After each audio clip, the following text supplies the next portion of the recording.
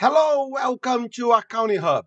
I'm Professor Jorge Scarpin, PhD in accounting, and our topic today is forecast accuracy. So we have some forecast or some prediction about revenue, about total cost, about whatever.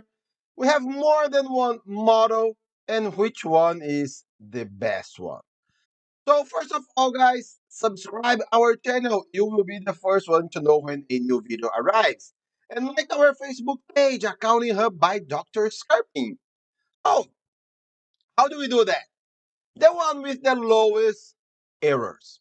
However, we have a lot of different errors. We have mean error, mean absolute error, mean absolute percent error, and mean square error. Which one is the best one? So let's go to our Excel file. Here, let's consider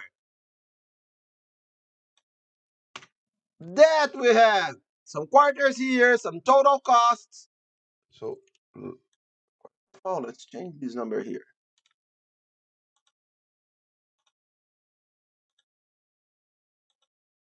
Let's make it pretty, guys. So, oh no, Excel, come back. Okay, now they are much better. And okay, this is my testing numbers. And I have three models with these predictions, with these forecasts. And this is my actual numbers. So let's compare it and let's check which one is the best one.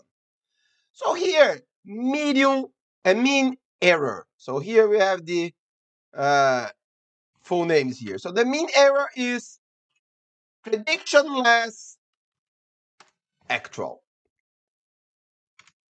Absolute error is the same error, however, ABS. So ABS, the same error. MAPE, it is the absolute error divided by actual number.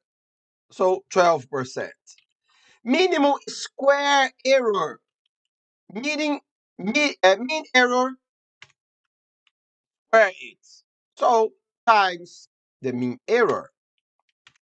And here it doesn't matter if we take the mean error or the mean absolute error. We will have the same. So we have no negative numbers when we square. Model 2, the same.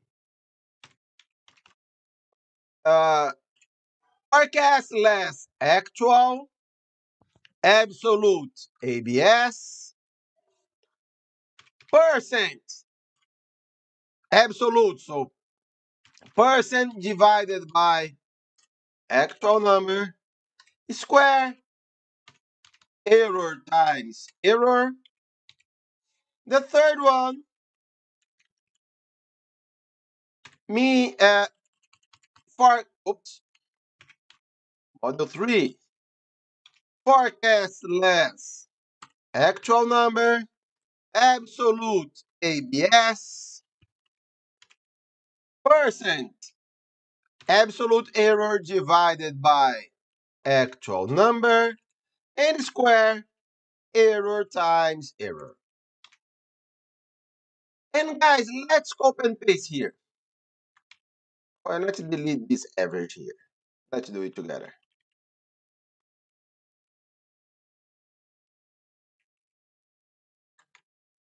Copy here, paste here. And average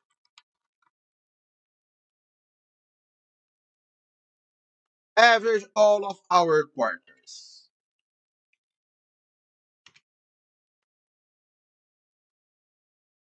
And here the percentage is in percentage.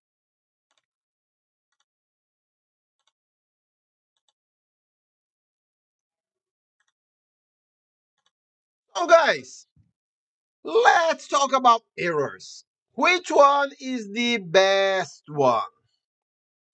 So first of all, let's start with which one is the worst one. The worst one is the mean error. Why?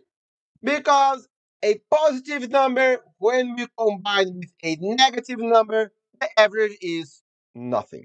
So the first one, an error of positive $1 million. The second one, negative $1 million. The mean is nothing. The mean is zero. So the mean error, never, ever use it.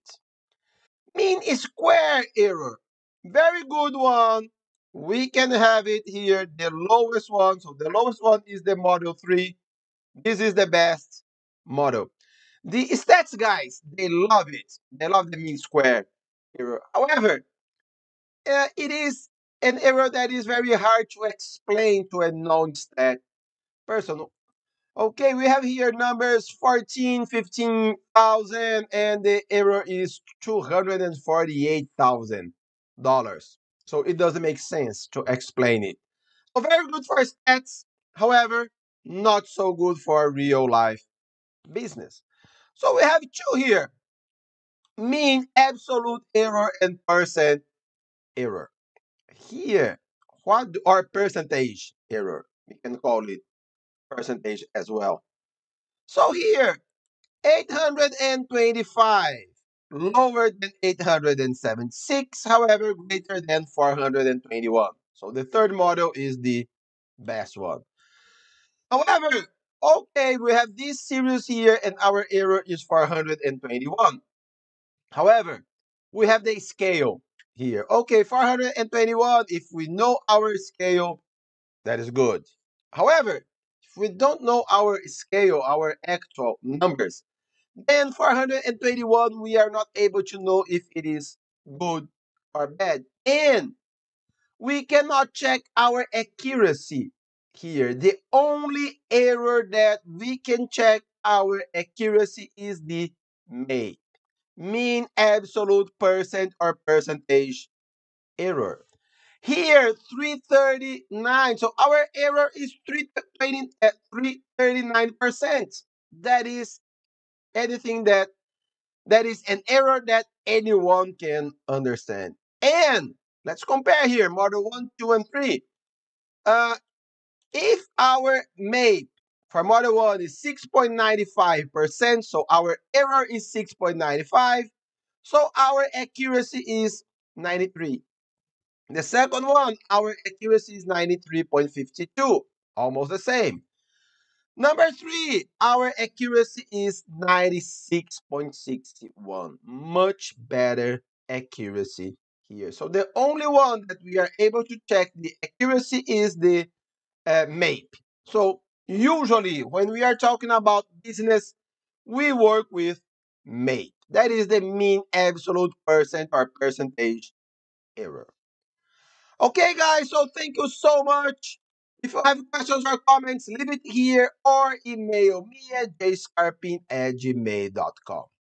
Have a nice day and God bless you.